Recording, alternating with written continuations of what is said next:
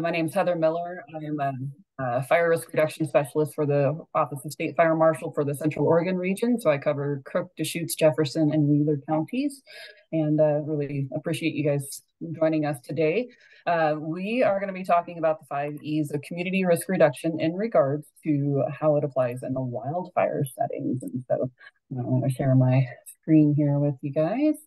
And um, just want to kick it off with uh, really reviewing that um, concept of what community risk reduction is, what we're looking at, and what those five E's are. So uh, really we're looking at those concepts of, uh, you know, what kind of engineering can we employ with reducing risk in a community, um, our emergency response plans and how we set that up. Um, what kind of economic incentives or penalties can we introduce to folks to uh, help motivate them to reduce risk in the community?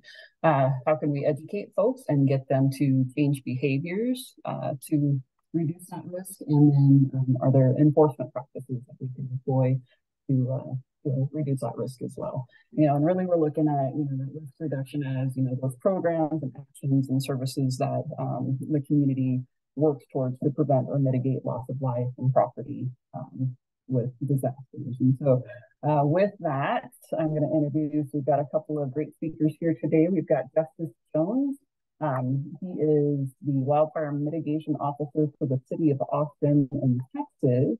Um, Justice serves um, there and, and helps with uh, Austin and the surrounding areas to embrace the wildfire preparedness um, and become uh, fire adapted in those systems. Um, recently, Austin became one of the largest municipalities in the country to adopt the ICC uh, Wildland Urban Interface Code. Um, so they're really focusing on that wildfire resilience and uh, looking towards the future and growth that they have. Uh, Justice also served on multiple committees, and uh, including the International Association of Fire Chiefs Wildland Fire Policy Committee, uh, the NFPA Technical Committee for 1140, and uh, he's also part of the Fire Adapting Communities Network and a technical specialist with the U.S. Fish and Wildlife Service. So um, our other speaker is going to be Chris Chambers. Um, he is the division chief with the Ashland Fire and Rescue. He's been there since 2002 and uh, has worked on many wildfire safety grants with lots of private landowners and co-authored the 2004 Ashland Community Wildfire Protection Plan and the 2005 Jackson County Integrated Fire Plan and participates in the um, implementing the Ashland Forest Resiliency Stewardship Project. So um, both are working hard out there and uh, doing great work in their communities. And so I will pass it over to Justice to um, share along what he has um, going on in his community. So with that, go ahead, Justice. Great. Uh, thank you, Heather. I'm going to go ahead and share my screen. Yep. That's not mine. Oh, stop share here, Judy jump on there? Or?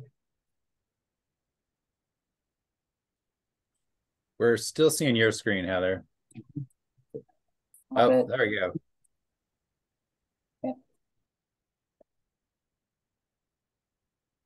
Are you seeing my presentation now? Great. Thank you for that, Chris. All right. Well, I'm really excited to be here with y'all today and um, share a little bit about the work that we've done in Austin to help accelerate the process of us being more resilient to wildfire. And um, I would like to um, just give credit where credit is due. As part of that process, has been learning from and benchmarking with um, other great departments across the country or, who are leading in the field. And Ashland, Oregon is certainly prime example of that. So I'm excited to be co-presenting with Chris. Learned a lot about uh, what we're doing in Austin from the great work they're doing there in Oregon. So um, I just did want to start out with a little bit of background and information on Austin's wildfire risk. Um, we've quantified wildfire risk down to the parcel level, and uh, that has uh, good and bad implications, but it allows us to get very specific with uh, communicating to residents are individual risk. But it helps us from an overall planning standpoint uh, to have a common operating picture of risk. And I know that's something that's emerging in Oregon rapidly. And so, a few things to know about Austin in relation to risk is Um, if you've read the CoreLogic report, um, we're the highest potential economic losses outside of California. So the cost to rebuild Austin would be astronomical based on projected losses. We have over 250 homes at risk in um, Austin and Travis County, and we're ranked third in the nation for uh, the number of um, and potential for wildfire losses. So we certainly have uh, wildfire issues. One of our challenges is that our um, fire seasons are driven by drought, and those may not emerge on an annual basis. It might be two, three, five years before we see our next fire season, uh, which is kind of a recipe for folks forgetting about it. And so we have to work hard to constantly keep wildfire on everybody's radar. Um, the way that we've mapped wildfire risk um, is somewhat unique in that uh, we look at the vegetative fuel hazards and the potential fire behavior um, impacts from that standpoint. But we also wanted to quantify what the potential urban conflagration in our community was. And so we built a map that um, identifies structure, proximity, and structure density. And that's what you're seeing here is those homes directly adjacent to the WUI boundary that also have adjacent to adjacency to other structures are the highest risk uh, classified structures in Austin. And we have 647 miles of wildland urban interface um, based on the way that our community was uh, developed. So we have a, a, permanent WUI, which is unique in Texas because we're uh, predominantly privately owned and private property. About 70, 97% of the land in Texas is private property. Um, our fire environment is, um, I think, unique in some ways. Uh, we have uh, statewide uh, wildfire sieges very often. And so there's multiple simultaneous starts across the landscape. Um, because the fragmentation um, and development in our community, um, we're faced with relatively small fires that can result in large losses. And very quickly, even though we're a robust fire department uh, from a traditional structure protection standpoint, um, can be easily outpaced by um, these fires occurring and us not being able to rely on our traditional mutual aid partners and response mechanisms.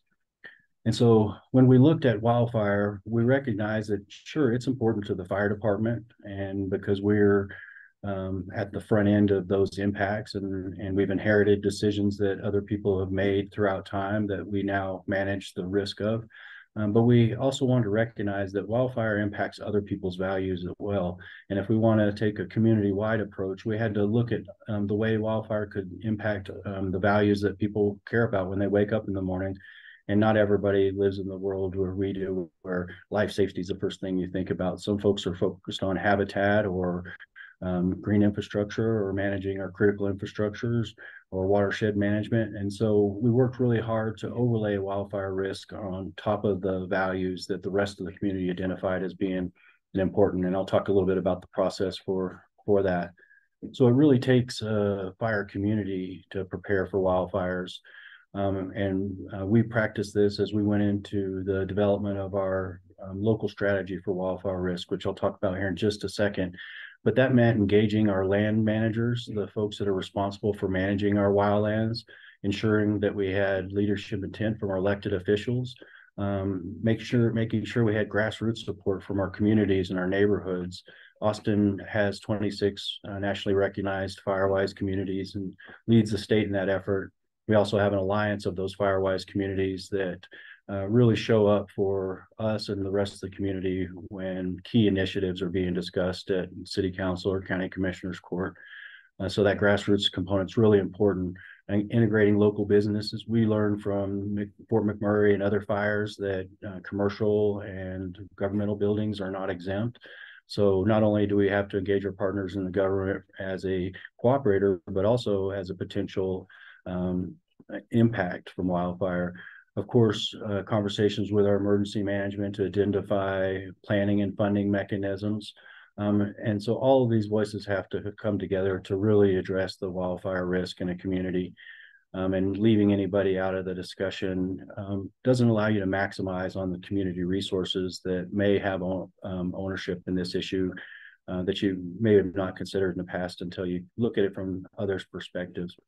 Austin developed a community wildfire protection plan in 2014, and we're in the process of updating that plan now. Um, it was one of the first plans that was modeled after the National Cohesive Wildland Fire Management Strategy.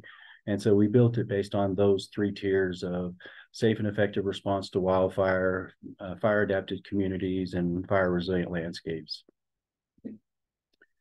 So, how does this relate to the five E's of community risk reduction? Um, I think one of the messages and takeaways is whether you're a fire department that um, is fortunate enough to have dedicated wildfire staff like we are in Austin and Ashland, or you're working with fire departments um, to embrace their role in community risk reduction, um, this can be done with existing resources. Of course, more is always better, but we have folks that are focused on community risk reduction, and it's not that big of a leap to incorporate wildfire hazard risk reduction and safety into that model. And so, if we look at things like um, Austin adopted the International um, Wildland Urban Interface Code, that's enforcement and education and action related to wildfire. We have certain um, codes within the city, uh, so weed abatement ordinance, um, brush pile ordinance, other things that maybe weren't intended for wildfire that we can leverage in our communities to enhance the wildfire safety. Um, the education is critical, and that starts with, and I think all of this starts with understanding of the wildfire risk, um, developing a plan to communicate and articulate that risk back to your community and the public that we serve. Um, using existing systems like the National Fire Danger Rating System, um, which very often, you know, we see in adjacent to national forest. We don't have very many of those in Texas. And so where you see those in Texas is in front of our fire stations. We want to remind every day, everyone every day of what the fire danger is and that we live in a fire environment. Um, and so emergency response is critical. And when it comes to wildfire, there's no component of response that's more important than evacuation planning. And so, for example, in Austin, we have a wild, wildfire specific evacuation plan that we then use the Ready, Set, Go program to align our public with that evacuation strategy. So we're both on the same page when it comes to um, responding effectively to wildfire. And then economic incentives. Um, how do we make wildfire equitable? Um, Austin and Travis County is the land of the have and have nots. And so, in general, um, our community um, is is very well off, and most of the the residents who can afford to live in the western part of the county, which is our hill country, um, don't live down in the lowlands and the grasslands where we get fast moving fires that are running into older homes. And so, how do we incentivize and level the playing field for wildfire risk reduction? Um, we're working to access uh, different grants uh, specifically designed for equity with equity in mind um, to be able to communicate what those risks are uh, to our vulnerable populations through um, the Austin Travis County Wildfire Vulnerability Viewer, which highlights um, those citizens who would face challenges in recovering, preparing, and recovering from wildfire. And so um, there's really direct connections and nexuses with the five E's of community risk reduction and how we're approaching uh, wildfire preparedness. And I think essentially it's an extension of our traditional community risk reduction program. It doesn't have to be this new foreign concept for fire departments and communities. We could leverage the resources we have uh, while we're acquiring additional resources we may need. So um, we had some recommendations that were developed by Headwaters Economics that really helped um, guide us moving forward in our wildfire safety. We created a wildfire division to help implement our community wildfire protection plan we integrated wildfire into various departmental and citywide performance measures. And so now it's a part of everyone's job in the city to address wildfire appropriately.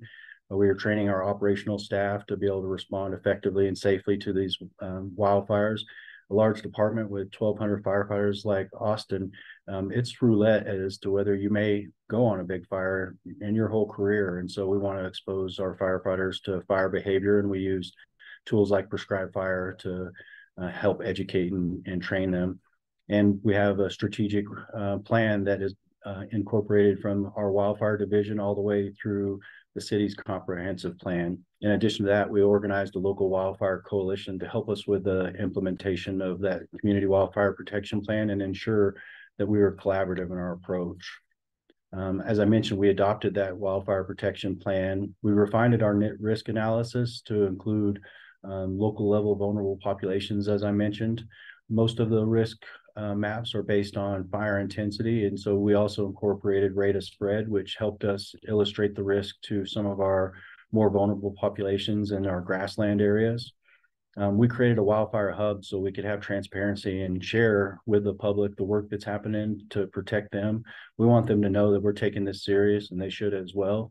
And then we participate in interdepartmental and interagency working groups and planning teams. Um, well, things I'd like to say, if you want someone to um, be included in your planning effort and to help you bolster your community's wildfire resiliency, then it's important to show up for them in the ways that they need. And so I serve on the city's urban forestry leadership team, our green infrastructure priority program, and many others. And some of those meetings are relevant. Uh, some of them aren't as relevant, um, but I'm able to ask those same cooperators to show up and help me because I've uh, expressed the willingness to to help them as well. And then we've in integrated wildfire into our climate resiliency planning, uh, which has been extremely helpful um, in acqu uh, acquisition of resources and funding associated with wildfire mitigation. And kind of finally, we've included wildfire in the public land management plan. Um, we have about 70,000 acres of wildland in Austin, and there was no planning in place for the majority of those lands. And so we helped our Parks and Recreation Department acquire a, a fire management planner. Um, we've incorporated our recommendations into plans across the county. And so our plans have become other people's plans and, and vice versa. As I mentioned, we incorporate their values. Um, we developed a prescribed fire permitting guideline to streamline the process of um, prescribed burn um, implementation because we want more fire on the ground. We use prescribed fire to educate residents about um, our fire environment and how um, it's a matter of time when wildfires do come back to an area. As I mentioned before, we adopted the Wildland Urban Interface Code um, and are aggressively implementing that. Since our adoption in 2021, we've um, had about 7,500 homes that are uh, compliant with the code and these homes are becoming the buffer for the interior, more at-risk areas in our community. And there's a link where you can check out uh, information on that code. So what's the fire service role in wildfire risk reduction? For me, I think it's giving your community situational awareness, helping them to look at fire uh, from your perspective as a, a, fire professional, to communicate that through risk assessment, to help them understand uh, why we need to take action at all levels, um, personal responsibility within the fire department is to have pre-plans and WUI response plans so we can be safe and effective when we're responding to wildfire. Being honest with the public and give them a realistic expectation of outcome, um, that's a really important point. Um, we have a tendency to want to help people feel safe and sound. That's why we're here, but we're not helping them if we're not being honest about what they can expect. In fact, we're causing harm a lot of the research on PTSD associated with these wildfires is not understanding the potential impacts and outcomes of a fire before it strikes. So we can inoculate people from these impacts by giving them a clear understanding of the situation we're in and then leveraging mitigation into operational advantage when our um, city's out doing fuels mitigation, we want our operational folks to know where those fire breaks are and so they can leverage them. Um, and that to ensure through things like voluntary compliance and our wildland urban interface that our communities are defendable when the next fire season strikes. We have a long way to go, but we're making progress. So some of the takeaways I'd like to leave with you is start with a shared understanding of wildfire risk. You need that common operating platform. And I know that's rapidly emerging for the state of Oregon. Um, it's really about people relationships and trust, not buildings and not trees. It starts with people. That's why we're doing this. And so, if you can help people change their minds and understand their role in wildfire, um, you can minimize their fear and maximize their proactiveness. We want to demonstrate what success looks like through voluntary measures. Uh, we we worked with our green building program to um, have a rating for wildfire risk that developers and builders were contributing and participating in long before we adopted the WUI code. And we were able to point back to that, that uh, they're already doing um, the work that we're asking, and we just need everybody to line, be in line with that. Want to seek support and buy-in from all levels, from grassroots to elected officials. Um, you need that leadership intent, and you need the groundswell of community support to really be effective. Establish a trusted point of contact to communicate with the public and stakeholders, and ask for help early and often. Um, I think I can say this for sure. I need it all the time, and I ask for help um, all the time. And timing is critical. Um, and I think that's a, a, lesson learned by by everyone that um, waiting and biding your time sometimes is your best strategy. And so you can have things lined out for when that opportunity strikes uh, that you're able to maximize on that. And so um, thank you very much for allowing me to just share uh, some of my thoughts and time with you. I want to give plenty of time uh, for Chris to share with you as well. Um, so I'm going to stop sharing and I'm um, happy to be um, on the call and looking forward to sticking around. Thank you.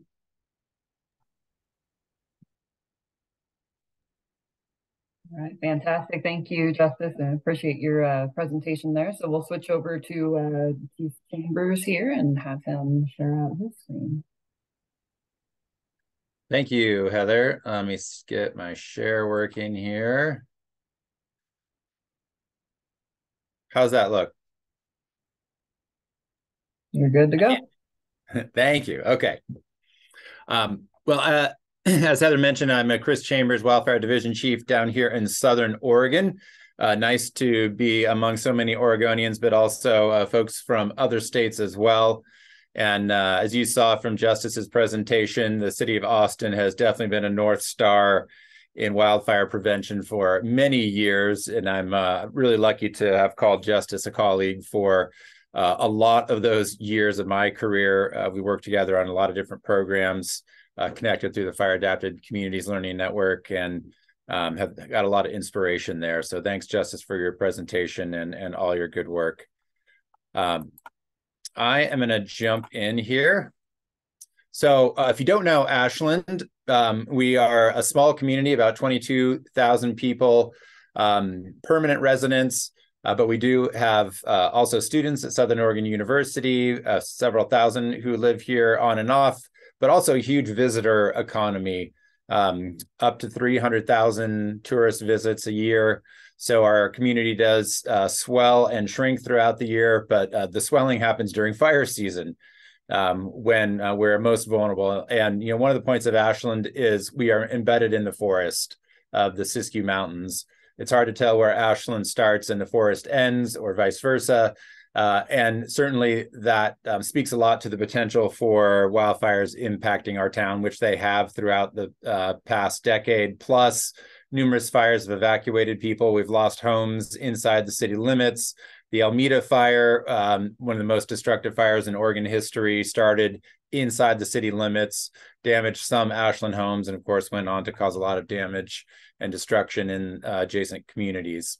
Uh, we're going to refer back to that embeddedness uh, here. I like this quote from uh, Yogi Berra. Always got to have a Yogi Berra quote. He had so many, but um, I think this speaks to the planning component and um, knowing where your program is going, uh, creating creating strategic alignment amongst your goals and your different plans in your departments and your cities and counties is really important.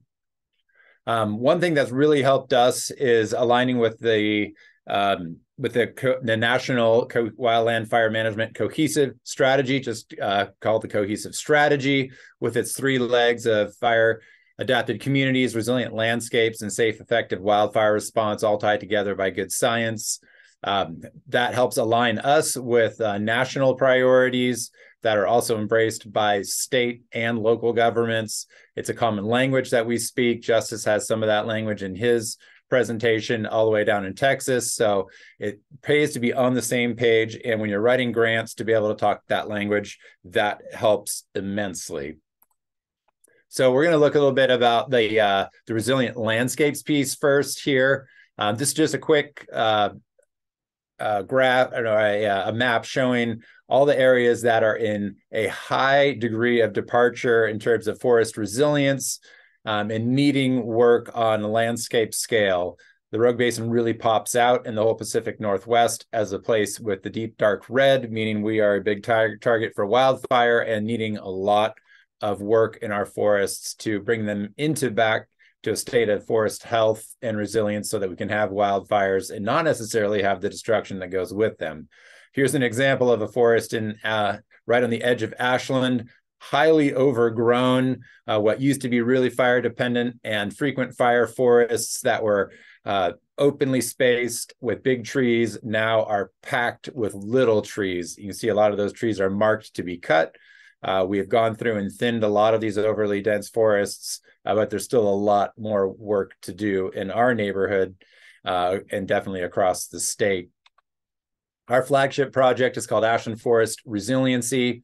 Um, it's a collaboration with the U.S. Forest Service, the City of Ashland, Lomakatsi Restoration Project, and the Nature Conservancy. Um, we've been working on this project for 13 years now as of this spring. Um, so we're getting towards the end of this 15 year time frame.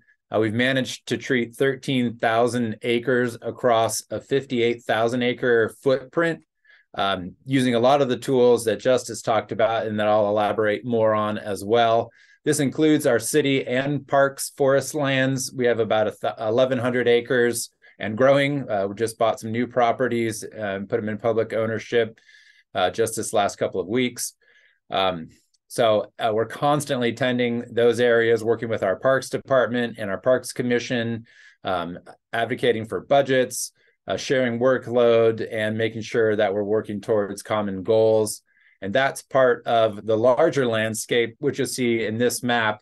Um, the the dashed outline is the 58,000 acres, which is kind of our like fire shed, if you will, um, where fire would come from to impact the city of Ashland and our municipal watershed, which is upstream from uh, downtown Ashland and being Ashland Creek, running right through the middle of town.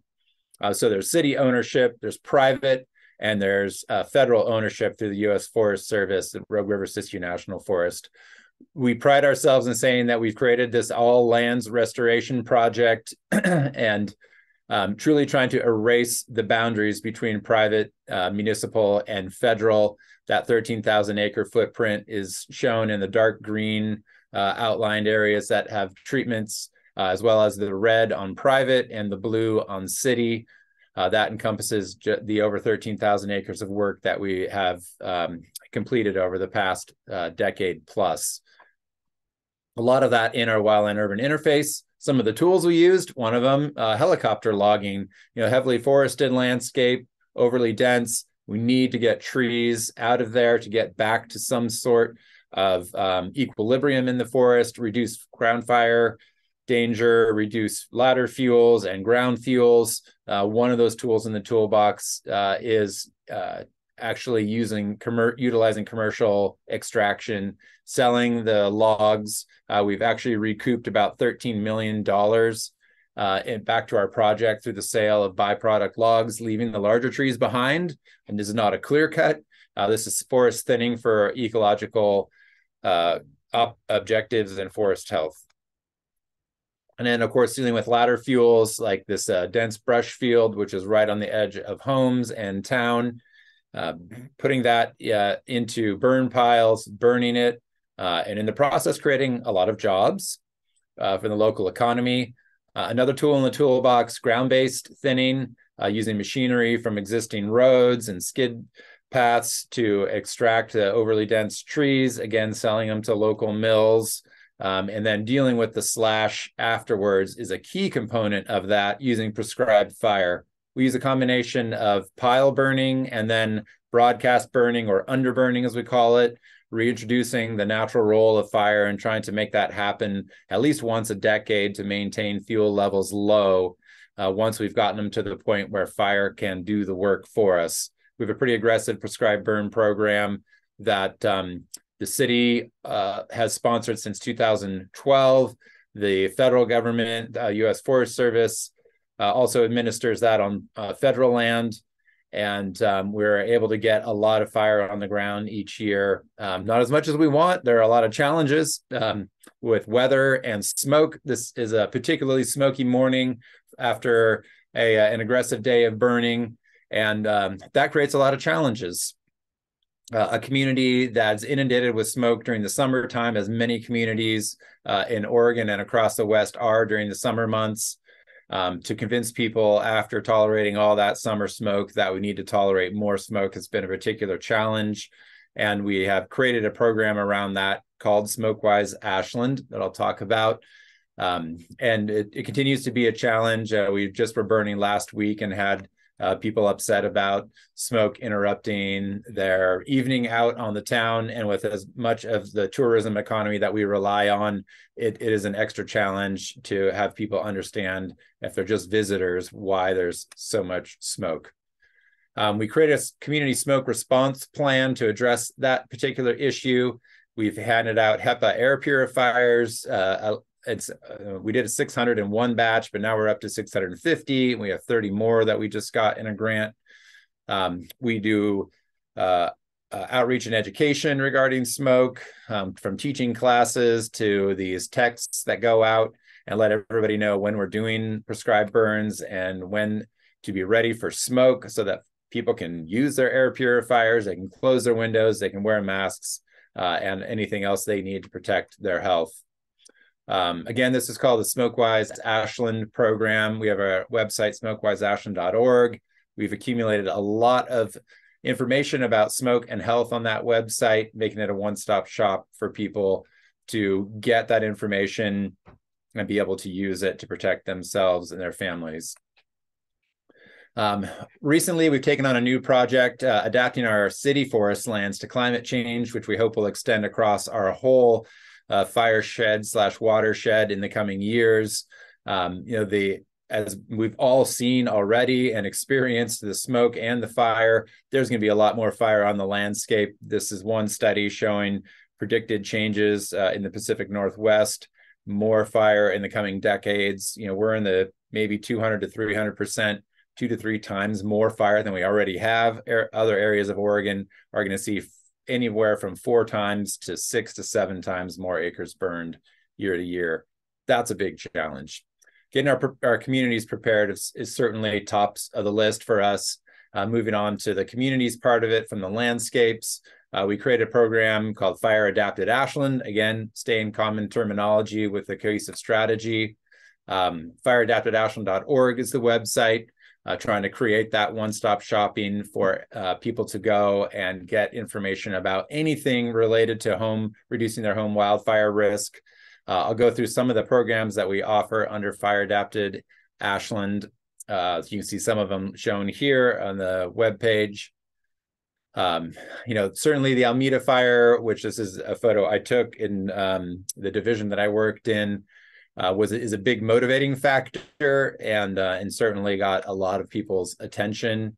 Um, we actually, even before the fire, had passed codes and ordinances, and this is where you know some of your five Es start to apply um, codes and ordinances. We we passed the entire uh, a redistricting of our entire uh, city as a wildland urban interface uh, back in 2018, along with an expansion of our wildfire safety ordinances uh, to address uh, not only vegetation uh, but things like bark mulch, fence connections, and roof types.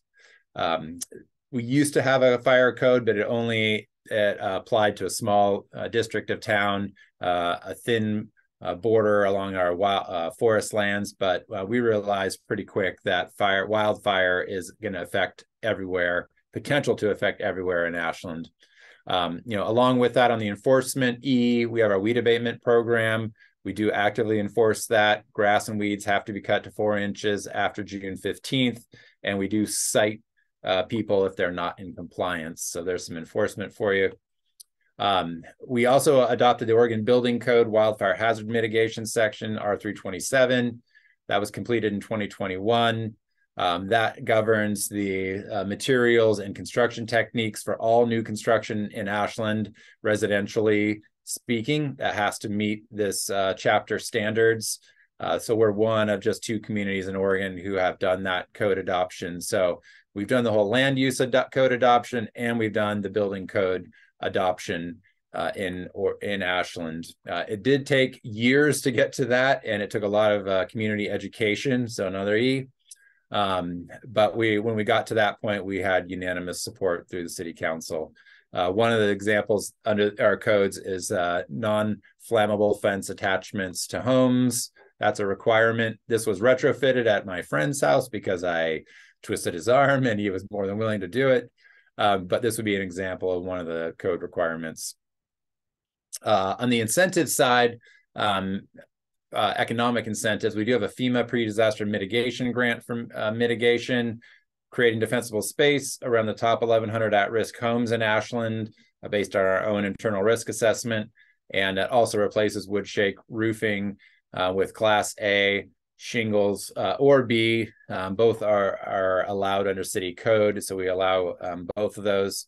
Uh, and we are a year into this program right now, and hoping to replace our coordinator who uh, just moved on to another job. But here's a couple before and afters of what it looks like. You see all the nasty junipers right around the deck, and the person was able to use the FEMA funds to take those out. Uh, a roof replacement in progress here. Um, a lot better option um, having a Class A fire protection roof. Uh, for risk assessments, we have a volunteer program. I think this is a pretty unique thing that we do. Um, one-on-one wildfire risk assessments are the best, definitely the best way to communicate uh, to people what they need to do in terms of what their risk is, uh, creating priorities, um, and having uh, a staff person do it was a dream at one point. We thought we could pull off, but uh, the need far outstripped uh, what we could supply. So we decided to train a cadre of volunteers to be able to do this. Um, we have seven volunteers that are active over the past year who did 250 assessments. And um, Brian Hendricks, our fire adapted communities coordinator, who's uh, watching on this, um, tra- just trained along uh, with a couple of our uh, previous RAP volunteers, 25 more who are finishing task books this month and getting signed off to do um, more and keep up with the demand out there in our community. Um, another uh, cool program that we put together is educating realtors and also home inspectors about wildfire risk. Uh, we look at the realty process as a unique point in time when you can make a lot of changes in a home and a landscape uh, if the education and awareness is there to do it. Uh, so Brian has been uh, teaching a class to realtors and we also got the home inspectors uh, to take this class so that they could include it in home inspections, just like you would include uh, inspections of the foundation, plumbing, electrical system, anything else. Wildfire can be part of that home inspection. Uh, we do do a lot of education and outreach. Um, we've got a wildfire safety campaign that spans actually four months. One of our months is missing here. Um, that uh, each month is focused on a different topic. Uh, right now, we are working on um, uh, evacuation and we've got a smoke month and firewise. So um, we give uh, the residents a lot of opportunity uh, and a lot of outreach. Uh, just finished the green debris drop off day this last uh, weekend. Brian coordinated that as well. Um, over 200 loads were delivered of green debris that would otherwise have been around people's homes uh, during the fire season. Um, we have 35 Firewise communities within Ashland who are largely self-sufficient at this point. Um, you know, we encourage them at every point we can to do more. Firewise is not a compulsory program. It does not need codes, but it is very much about education and outreach. Um, and we do use our Firewise communities for wildfire season training, which is a bonus for them. Um, Ashland is big on evacuations. We have uh, 10 zones laid out uh, many counties have gone to a zone system now across Oregon and the West. Um, we do a lot of outreach through Ready, Set, Go uh, to get uh, residents ready for the fire season. You saw we have a whole month dedicated to it in our campaign. Uh, this is something that was new to us just a couple of years ago and uh, is becoming uh, fairly common now. And last one I'm going to hit is the safe, effective wildfire response, last leg of the cohesive strategy. And uh, one of the things that we've really put a lot of time into is this uh, concept of pods or potential operational delineations. It's a tool being used across the country now by the U.S. Forest Service and other federal agencies, tying together landscapes uh, through data that's mostly remotely sensed from satellites, uh, using a lot of fancy science and math um, through the Rocky Mountain Research Station and Oregon State University in uh, in our case.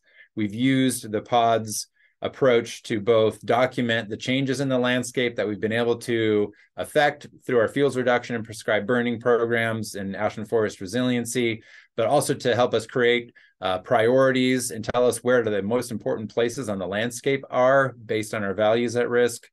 Um, and then also in a response capacity, uh, pods also displays the most uh, obvious places on the landscape to go for fire suppression success uh, based on uh, mapping out lots and lots of past fires. Uh, we have uh, an index called suppression difficulty that really can help crews responding and incident management teams to formulate strategies for containment of fires that um, give us a lot more to go on than just going out there and uh, drawing a box around it and creating contingency plans. Uh, that plan is essentially built ahead of time, which puts us uh, far ahead of the game when the bell goes off during the summer.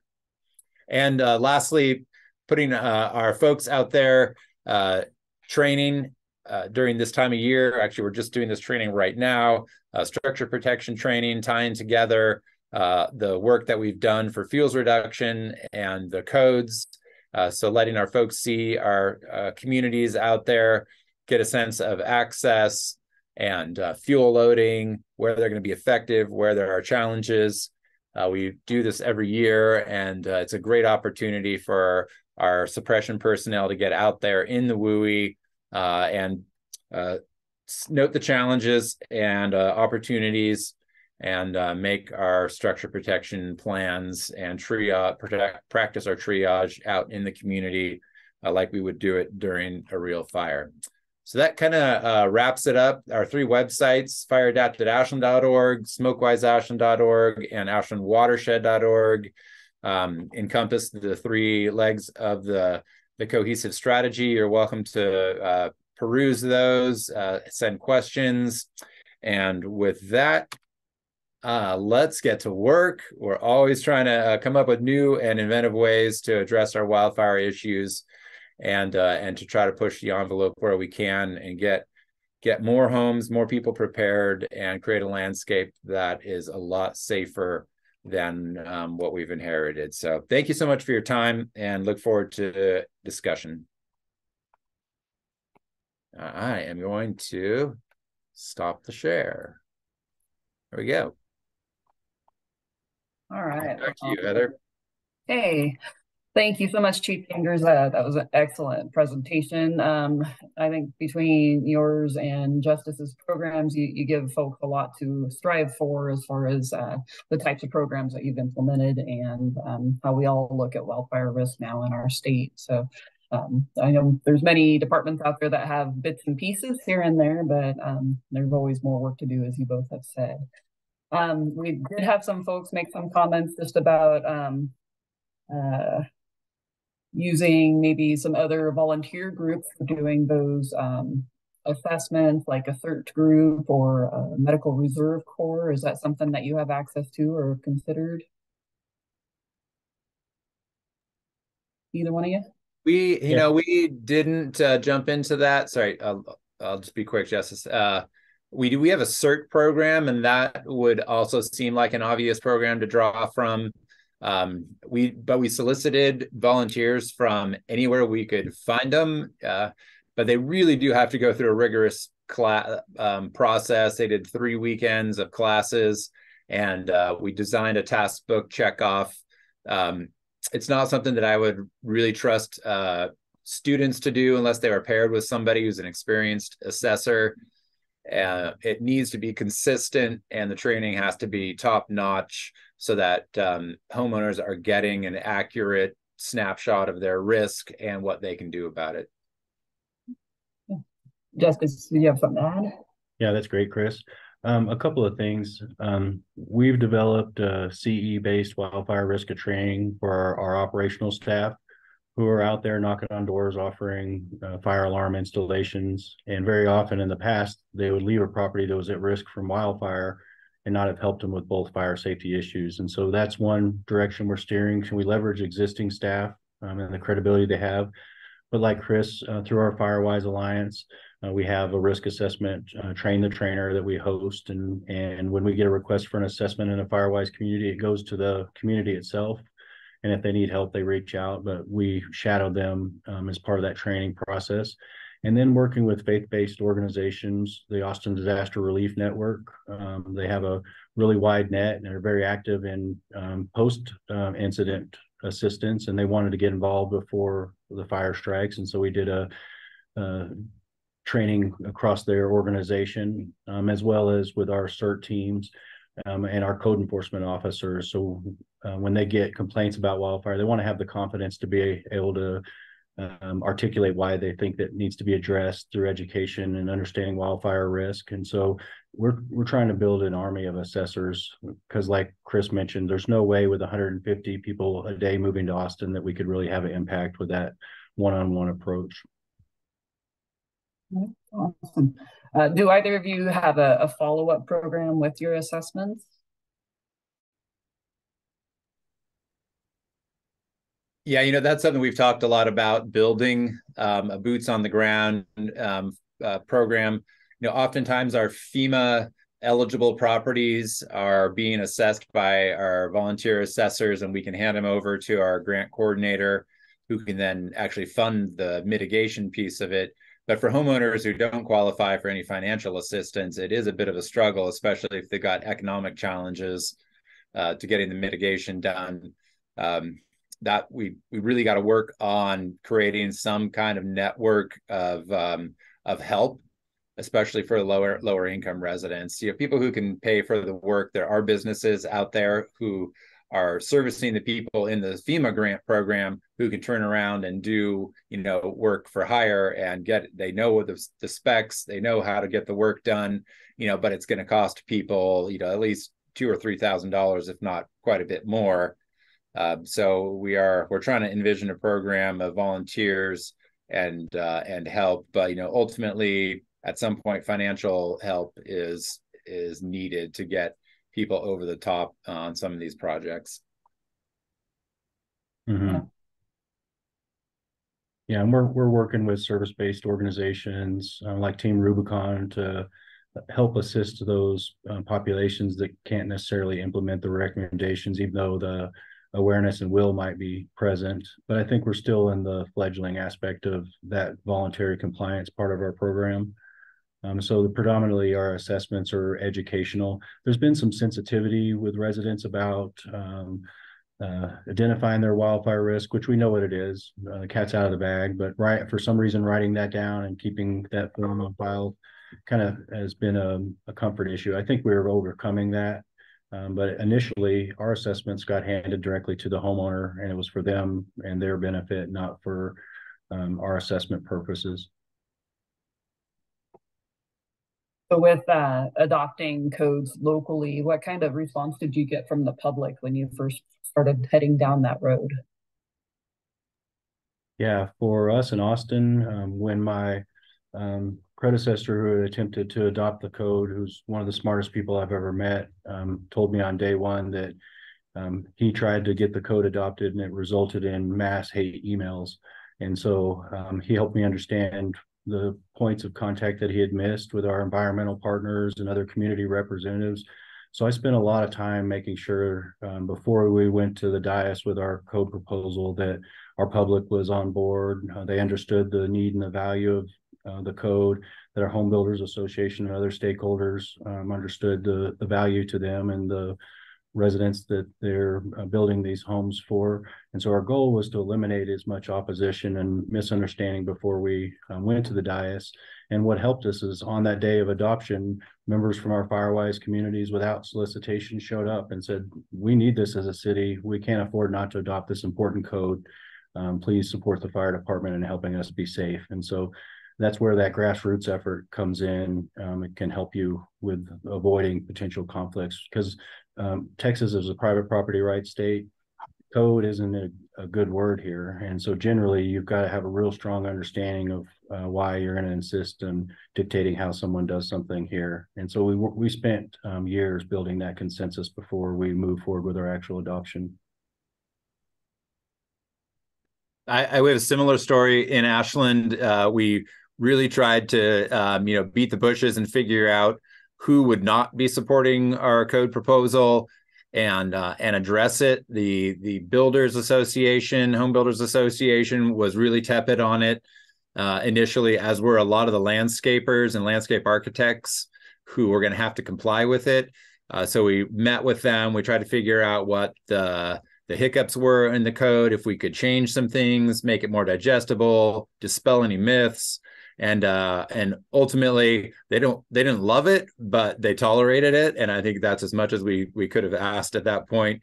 And um, and then we also had a lot of concern over insurance rates, whether or not um, you know adopting the whole city as this wildfire urban interface um, or wildfire hazard zone in, in our planning language would change people's insurance rates. And there was a lot of consternation about that.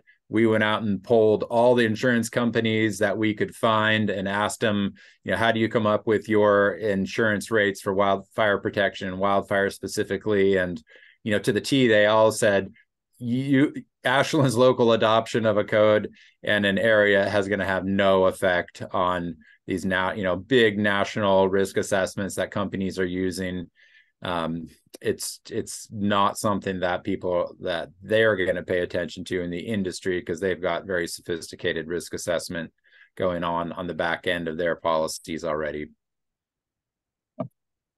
Both sound like really great approaches there. Um, so for both of you, with your uh, codes that you have in place, um, you mentioned uh, weed abatement and that sort of thing. Who does the um, enforcement on those codes? Is that like a city code officer or is it through the fire department?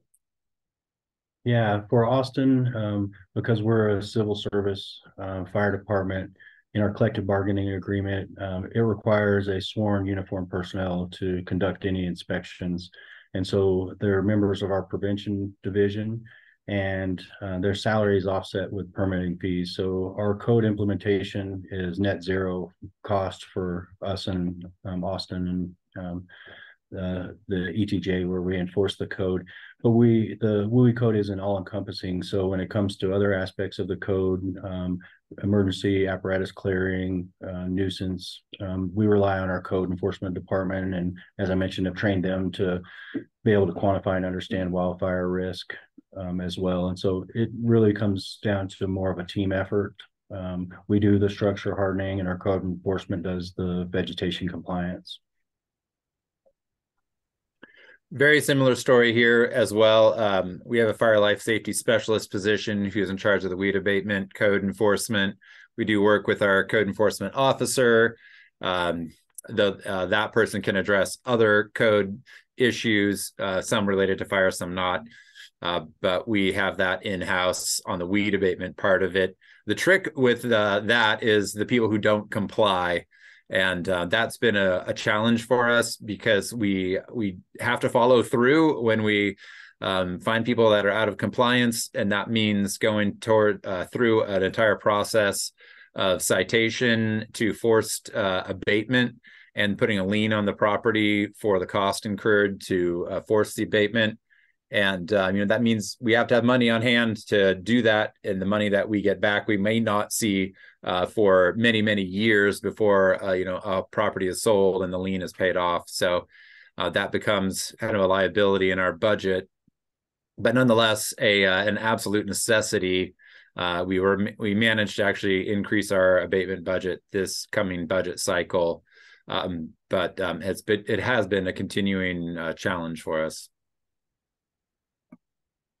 all right. I've been monitoring the chat and looks like you guys have too. So I think we're caught up on questions and such. Um, encourage folks that are online, if you have a question, to pop it in the chat now because we are coming up on our time. We certainly want to be respectful to everyone's schedules.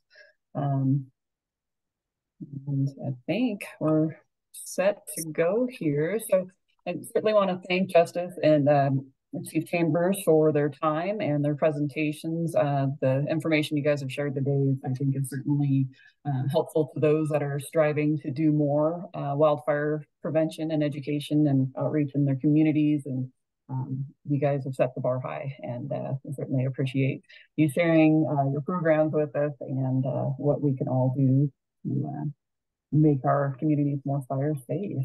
So with that, I am going to share out that um, this is just a part of a series of webinars that our office is hosting. And so we will continue uh, with those webinars through May and into June. Um, and so our next webinar coming up is on May 16th, talking about community wildfire protection plans and all those entail. And uh, you can go to our website, which you can click on that QR code and it'll take you there to our wildfire awareness page and uh, register for those following um, webinars as they come up. So with that, I think that's all we have for today. And I thank everyone for uh, joining us and um, hope you all have a wonderful day. Thank you so much.